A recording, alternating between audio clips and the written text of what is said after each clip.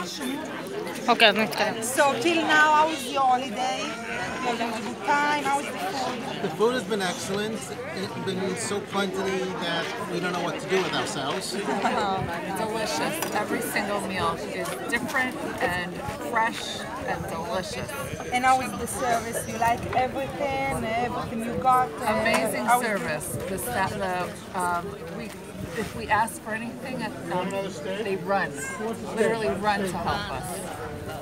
And the Seder's were beyond my wildest expectations. There were thing, dishes on the table. There were so many that we couldn't even put anything else on the table.